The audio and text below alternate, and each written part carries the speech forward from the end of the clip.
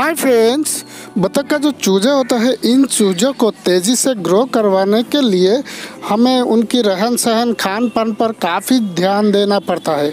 तो आज इस वीडियो के ज़रिए मैं आपको एक ऐसा प्रोटीन, कैल्शियम, विटामिन का सोर्स के बारे में बताने वाला हूँ, जिसे हम घर पर ही आराम से अपने चूजों को खिला सकते हैं।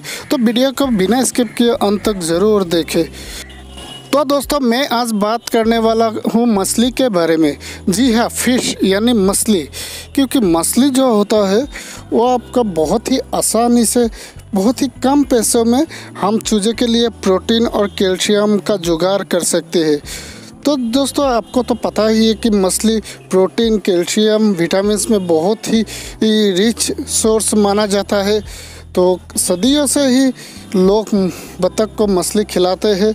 तो ये देखिए वीडियो पर मैंने क्या किया?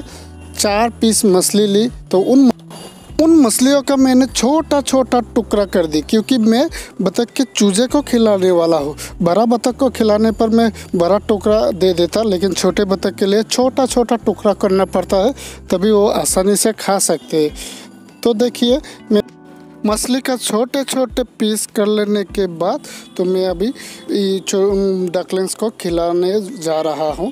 तो गौर से देखिए। तो ये देखिए, मैंने अपने हाथे पर उन मछलियों की छोटे छोटे टुकड़े ले लिया और एक एक करके देने लगा।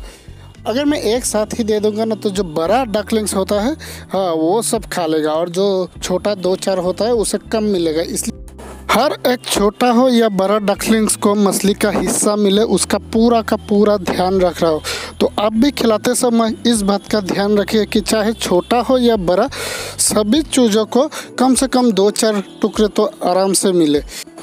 दोस्तों, कभी कभार छोटे साइज़ का मछली बहुत ही कम कीमत पर एकदम सस्ता में मिल जाता है।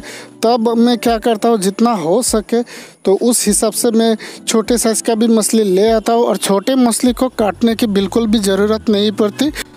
साइज़ में छोटा होने के कारण डकलिंग्स आराम से खा लेते हैं।